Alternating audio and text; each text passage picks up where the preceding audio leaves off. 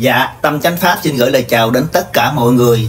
Mấy bữa nay trên trang phở bò có cái tài khoản là Diệu Trúc kêu gọi mọi người là đánh sập cái kênh Tâm Chánh Pháp bởi vì kênh Tâm Chánh Pháp luôn chống đối với các người tu hành, những người xuất gia. Nhưng mà quý vị ơi, quý vị hồi nào giờ quý vị có thấy Tâm có chống đối với đạo Phật không? Có chống đối với những người mà tu chân chánh hay không ạ? À? Tâm chỉ làm cái kênh này là để bảo vệ sư minh tuệ, sư minh đạo và chống đối lại một số sàm tăng ma tăng mượn đạo tạo đời mượn hoa cúng Phật. Tâm rất là kính ngưỡng những người mà tu tập bởi vì những người mà tinh tấn tu tập đó họ buông bỏ đi tất cả họ bỏ đi những cái ham muốn bản thân mình để mà họ truyền cái đạo pháp truyền cái cái cái cái ánh sáng Phật pháp đi khắp muôn nơi, giúp chúng sanh Phật thử giảm đi tham sân si, thì mình rất là tôn trọng và kính ngưỡng những cái người mà tinh tấn tu hành, những cái vị chân tu thật sự mình đã nói rồi, mình sẽ chống đối tới cùng những người mà mượn đạo tạo đời, hút máu phật tử, hút máu nhân dân, là mình chống đối tới cùng mọi người có ủng hộ tâm không ạ à? Rồi bây giờ đó là mình cho tất cả mọi người xem cái tài khoản diệu trúc này, nói cái gì về sư minh đạo và sư minh tuệ thì mời tất cả mọi người cùng xem với tâm nha. Mời. Đang muốn chống phá, phản động chống phá đất nước Việt Nam để cách mạng màu, lật lịch sử. Nói rồi mà VTV1 nói rõ ràng rồi không ạ? Thế nhưng chúng nó vẫn cố tình chúng nó vẫn cố tình mọi người ạ. Nó không hề đơn giản đâu cái bọn này nói chung là cái lũ này là là cuồng mê rồi và nó ăn tiền rồi. Kể cả minh đạo cũng là cái một trong những kế hoạch của chúng nó rồi. Đã được ăn tiền rồi và chúng nó đã nắm thoát được rồi. Những cái những cái mà ông vi phạm pháp luật chúng nó đã nắm thoát được rồi. Bây giờ không nghe theo nó là nó tung phốt ra cái là ông bị đi tù. Chính bây giờ phải nghe. Bây giờ nghe nó là bỏ bỏ giáo hội phật giáo. Thì tất nhiên là với cả giáo hội thì um, ai xin hoạt tục các ngài cũng cho mà đâu có đâu có các ngài có giữ đâu. Người ta giữ giữ người có tâm có đạo chứ. Chứ ai người ta giữ cái người bỏ đi đúng không? Trong cái trong cái chiến dịch này là một trong những cái chiến dịch mà chúng ta nhìn thấy là hàng bao nhiêu con người u u mê mê. Xem xong cái clip của Diệu Trúc á, thì tôi không biết là kêu Diệu Trúc bằng anh hay là bằng chị cho nó phải đạo. Thật tình mà nói tôi không nhìn ra cái này là nam hay là nữ thì tôi không biết. Mọi người có biết thì uh, mọi người mà có hiểu thì uh, cho tâm một cái bình luận nha. Nhưng mà đa số những người này á họ nói người khác nhưng mà họ tự vả vào cái mõm của họ. Họ nói là tâm là chuyên gia đi chống phá à, là các thầy các sư tu tập. Nhưng mà diệu trúc này á mới là người đi chống phá các sư tu tập chân chánh bây giờ tôi hỏi bạn nha sư minh tuệ đi tu tập có ảnh hưởng gì bạn không? Mà sao bạn dùng những lời lẽ khó nghe như vậy? Mà bạn quy chụp cho tôi là chống phá các thầy tu. Ủa sư Minh Tuệ không phải tu hả? Hồi nào giờ bạn có thấy tôi dùng những cái lời lẽ nặng nề như diệu trúc mà đi xúc phạm với người nào không? Tại sao mà quy chụp cho người ta là phản động là, là này kia là cách mạng màu? Mình có bằng chứng đưa ra công an. Công an sẽ ghi công cho mình, Tặng cho mình cái bằng khen. Không phải mình đứng lên mình nói như vậy. Đài truyền hình này kia người ta nói á, là người ta nói những người mượn những hình ảnh của sư minh tuệ để mà làm cách mạng màu. Chứ không phải là sư minh tuệ sư minh đạo làm cách mạng màu. Có cái não không? Là tu tập người ta đâu đụng chạm đâu tại sao dùng những lời lẽ nặng nề vậy? Những người như thế này á, họ thường là họ vả vào cái mõm của họ, mà họ không biết. Người ta tu tập, người ta tinh tấn tu tập, người ta chưa đụng chạm bất cứ một người nào, người ta không tham lam. Một ngày ăn một bữa, ngủ nghĩa trang nghĩa địa, ngủ nhà hoang. Mà lên chửi người ta như tát nước vào mặt người ta còn quy chụp cho tôi hay là suốt ngày đi, chống đối với các ờ, người từ tu sĩ. Tôi chống đối ở đây là tôi chống đối những người sàm tăng, những người ma tăng. Họ không có thật lòng với cái đạo Phật. Họ muốn hủy hoại cái đạo Phật này. Tôi không biết kêu bằng anh hay bằng chị cho nó phải đạo. Mình đã sanh ra, đã tinh thần, đã khuyết tật như vậy rồi. Mà không biết khiêm tốn, khiêm nhường. Ủa, sư minh tuệ tu um, có mắc mớ gì không? Mà lên dùng những lời lẽ nặng nề như vậy. Tôi vô cái trang phở uh, bò của Diệu Trúc nè tôi thấy tổ chức sinh nhật rồi kia mời mấy thầy này kia ăn nhậu tá lả ăn uống tùm lum tùm la hết. Đây cũng là con cháu của ma vương nè mượn đạo tạo đời nè. Còn sư minh tuệ đi tu tinh tấn như vậy đó không ờ, tổ, tổ chức tiệc tùng không ăn uống nhậu nhẹt hay chân á là ghét người ta chứ gì. Nói lại một lần cho Diệu Trúc nghe nè. Đài truyền hình người ta đó Người ta nói là có một số người mượn hình ảnh của sư Minh Tuệ Để làm cách mạng màu chứ không phải đó sư Minh Tuệ, sư Minh Đạo. Nói như vậy là là phỉ bán cái an ninh quốc gia. Phỉ bán nhà nước ta không biết điều tra Ta không biết nhìn nhận con người à.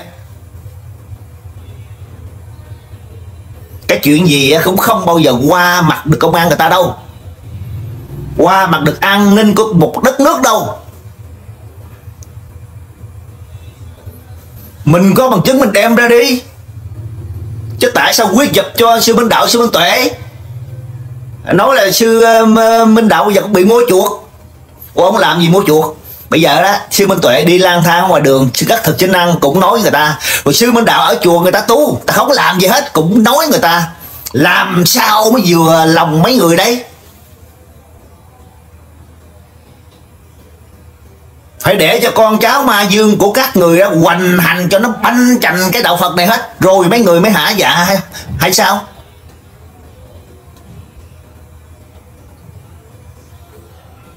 Con người của mình không ra gì hết trơn mà kêu đánh sập kinh của tâm chánh pháp. Tôi nói thật nha tôi làm ở đây là tôi bảo vệ cái đạo phật bảo vệ những cái vị chân tu. Sập cái này tôi làm cái khác tôi chơi. Tôi không phải làm gì tiền. Đừng có hù tôi.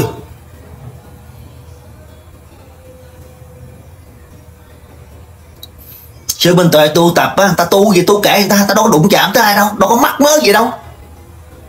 Mà chửi ta không còn ra cái gì hết. Rồi bây giờ là kêu gọi mọi người đánh sập kênh tôi nữa. Trời đất ơi trời. Sập 10 cái kênh đó tôi vẫn tạo 100 kênh nữa tôi nói chừng nào á, tôi giết chừng nào hết ma tăng, sàm tăng, hết con cháu ma dương như diệu trúc á, thì mới thôi thật sự tôi bây giờ tôi nói tôi không biết kêu anh hay kêu chị đây. Rất là khó nói chuyện luôn. Anh không ra anh mà chị không ra chị. Mình đã có tâm hồn mình mình đã, đã khuyết tật rồi. Mình nên lặng đi mình nên núp đi.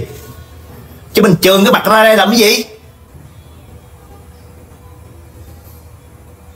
Tối ngày vu khống người ta là cách mạng màu này kia cái nọ mình có bằng chứng không? Không có bằng chứng đó, ta ghét bà có tội vu khống. Bịa đặt xuyên tạc. Gây hoang mang dư luận.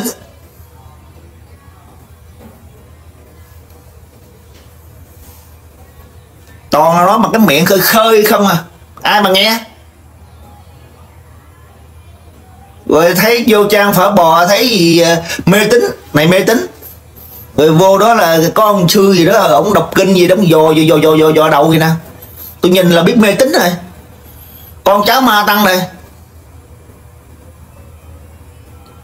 khi nào sư minh tuệ tu mà đụng chạm tới ai, hoặc là nói đích thực một người nào đó, mình hãy lên tiếng mình nói người ta. Sư minh tuệ chưa bao giờ đụng chạm bất cứ một người nào, mà cũng chưa bao giờ nói đến một cái tôn giáo nào ở đất nước Việt Nam này. Lý do tại sao mà đi chửi người ta? Quy chụp cho người ta là chống phá đất nước cách mạng màu trong thời gian khắc thực á, nhà nước cũng đã cử người theo dõi sư minh tuệ rồi. Người ta theo dõi cả nửa tháng trời không thấy sư minh tuệ có một cái hành động gì ảnh hưởng đến đất nước. Lúc đó là thấy tình hình nó đông quá nó không còn giữ được được được an ninh trật tự nữa thì cho nên ta mời thầy về nếu mà sư minh tuệ làm cách mạng màu thì người ta bắt rồi, người ta nhốt rồi, người ta đâu có thả thầy ra nữa. Nói mà cái đầu ngu còn hưng là cái gì nữa mà đem đi ra nói làm cách mạng màu. Rồi bây giờ tấn công cả sư minh đạo. Thấy mọi người người ta ủng hộ ta tung hô. Những người chân tu rồi người ta tẩy chay mấy ma tăng, cái bắt đầu sồn sồn lên, nó bắt đầu là chửi người ta. Rồi vu khống cho người ta là làm cách mạng màu. Thua luôn cái bản thân của mình ra nam không ra nam, nữ không ra nữ, mà đi chỉ trích người khác là lý do tại sao? Mình có trí tuệ chưa? Mình có đạo đức chưa? Mình có ăn học chưa? Ăn học mà đi xúc phạm người khác như vậy à? Người ta không có đụng chạm gì tới mình. Mà chửi bới người ta không còn cái gì hết trơn hết trọi á. Sư minh tuệ đâu có xài điện thoại đâu nói như vậy là nói những người mà yêu kính sư minh tuệ. Rồi bây giờ tới mình yêu kính sư minh tuệ bắt đầu là kêu gọi mọi người đánh sập cái kênh của mình. Đánh sập 100 kênh tôi tạo thêm một ngàn kênh. Chơi tiếp. Theo luật chơi là phải công bằng. Không phải mình lên đây mình làm không lợi người ta rồi bắt đầu là là là là, là hùa với nhau đập đánh sập kênh người ta.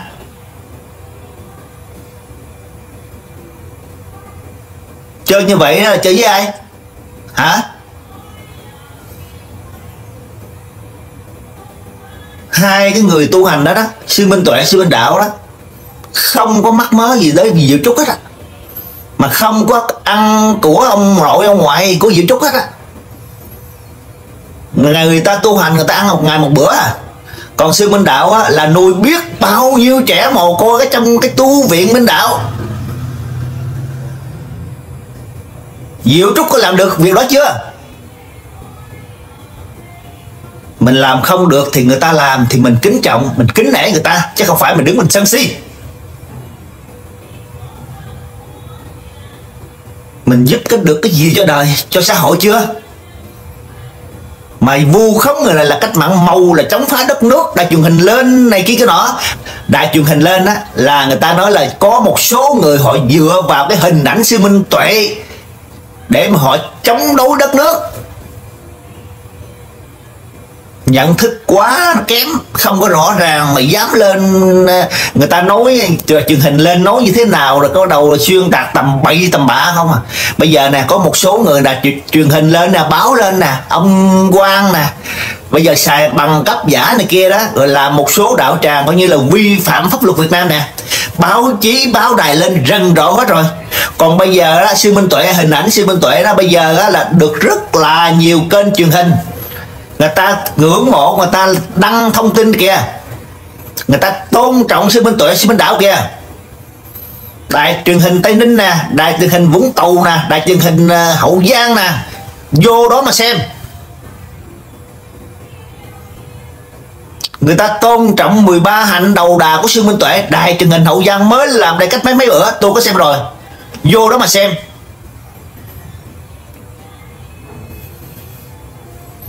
Mình không có bằng chứng gì hết trơn à. rồi vu khống bịa đặt cho người ta. Xuyên tạc đây là những cái thành phần chống phá. Này đây là gợi ý cho những cái thành phần chống phá nó làm theo cái ý của Diệu Trúc nè.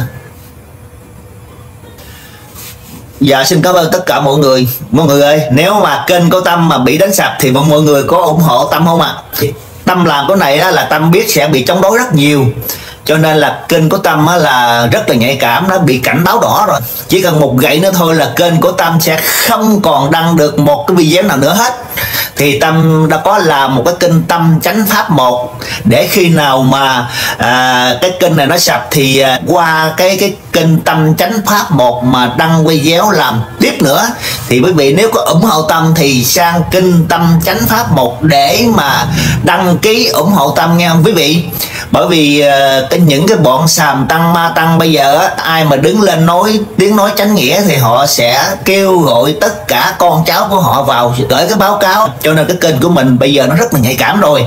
Mong mọi người nếu ủng hộ tâm thì à, à, vô cái phần bình luận đó quý vị thì tâm chánh pháp một có bình luận trong đó thì mọi người tìm tâm chánh pháp một trên đầu ra, tâm sẽ ghim cái bình luận ở trên đó.